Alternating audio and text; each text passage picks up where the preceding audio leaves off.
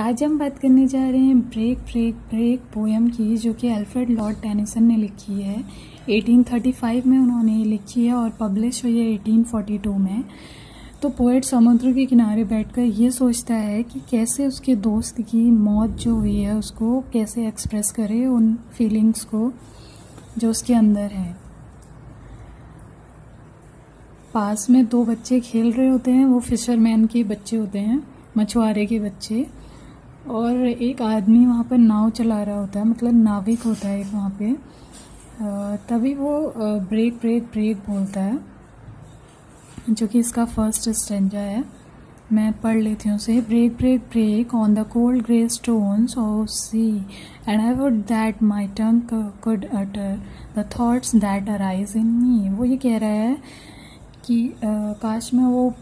काश मेरी ज़बान जो है वो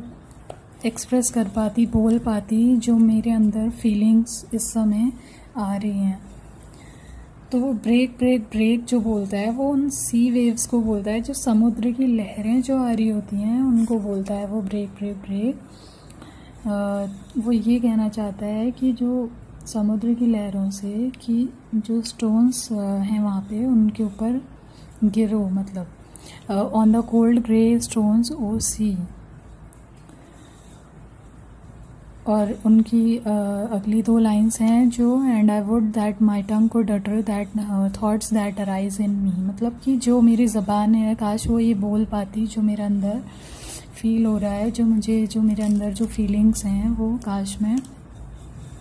मेरी ज़बान बोल पाती।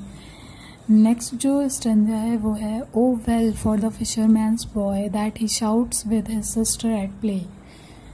O well for the sailor lad that he sings in his boat on the bay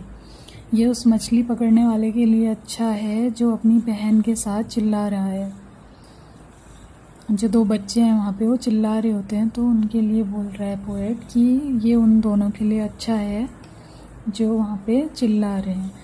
और ये उस नाविक के लिए भी अच्छा है, उस सेलर नाविक को बोला है, जो बोट चलाता है। ये उसके लिए भी अच्छा है कि जो अपनी नाव में गाना गा रहा है। थर्ड स्टेंज है and the stately ships go on जो शिप जा रहे हैं to their haven under the hill कहाँ जाएँगे शिप जो उनका ठहरने का जो जगह होती है मतलब कि अपने पोर्ट पे जाएँगे। But O for the touch of a vanished hand and the sound of a voice that is still the poet is saying that he can't touch his friend's hand वो अपने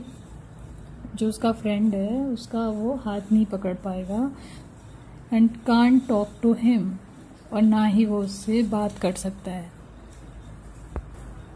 जो फोर्थ स्ट्रेंज है इसका, वो है break break break at the foot of the crags O sea but the tender grace of a day